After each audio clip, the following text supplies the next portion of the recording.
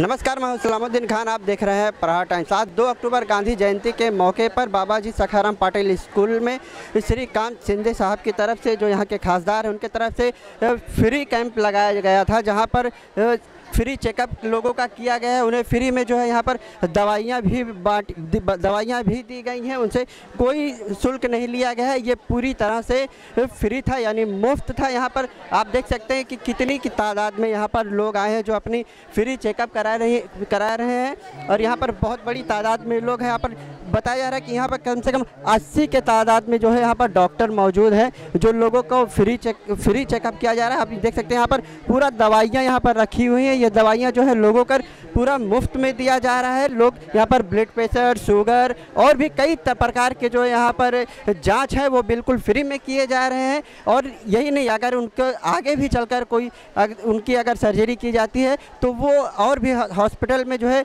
इन्हीं की तरफ़ से किया जाएगा। हम इनसे बात करते हैं। सर ये जो दवाइयाँ यहाँ पर रखी गई हैं क्या जो यहाँ पर पेशेंट आते हैं तो उनको फ्री में दी फ्री में फ्री ऑफ़ कॉस्ट है। हर प्रकार की दवा फ्री ऑफ़ कॉस्ट आपका नाम?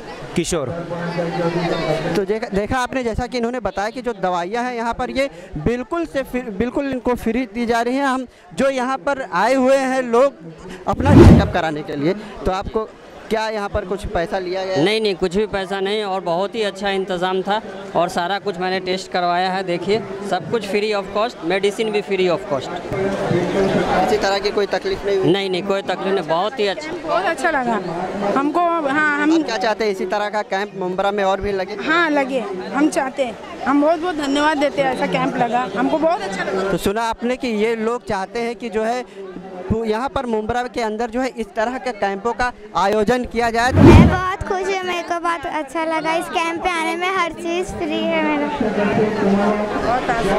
देखो तो ये एक छोटी बच्ची है जो बता रही है कि यहाँ पर जो कैंप लगा है उसको जो है यहाँ पर बहुत अच्छा लगा इस कैंप लगने की वजह से ताकि लोगों को भी सुविधाएँ दी जा रही हैं। श्रीकांत सिंधे जो है, इस स्कूल में जो कैंप लगा हुआ है, उसका दौरा किया, जायजा लिया, जो यहाँ पर मरीजों को, मरीजों के साथ मरीज़ हैं, उनको भी इसका जायजा लिया कि आखिर कैसा ट्रीटमेंट यहाँ पर चल रहा है। उसके बाद उन्होंने क्या कुछ कहा, आइए हम उन्हीं से सुनते हैं। आज मुमरा में जो आरोग्य शिविर है मेडिकल कैंप का आयोजन यहाँ पर शिवसेना के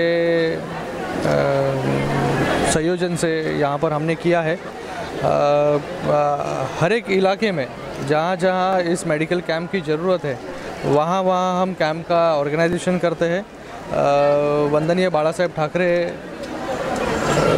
मेडिकल कक्ष, इस नाम से हमने एक कक्ष शुरू किया है। जिसके माध्यम से अलग अलग एरिया में जहाँ जहाँ लोगों को हेल्थ केयर की कमी है।